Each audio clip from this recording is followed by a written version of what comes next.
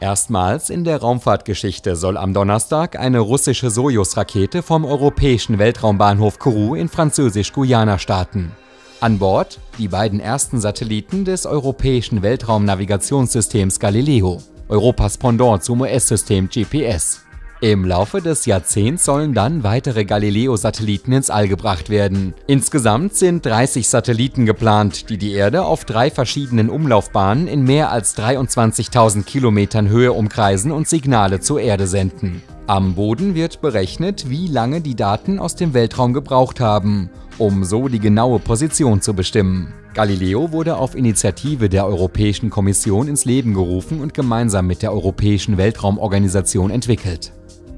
Der Kommission zufolge wird Galileo eine neue Generation von Universaldiensten für Bereiche wie Verkehr, Telekommunikation, Landwirtschaft und Fischerei anbieten.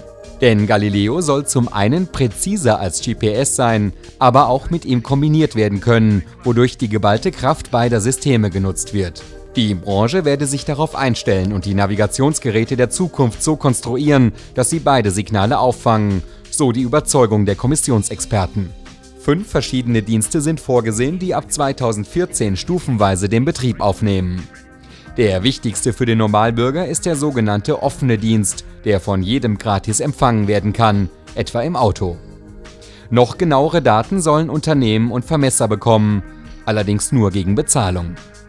Laut EU-Kommission seien seit dem Jahr 2000 fast 5 Milliarden Euro in die Infrastruktur von Galileo geflossen, einem kürzlich geäußerten Vorschlag eines Kommissionsexperten zufolge könnte das System von 2014 für den Zeitraum bis 2020 rund eine Milliarde Euro pro Jahr kosten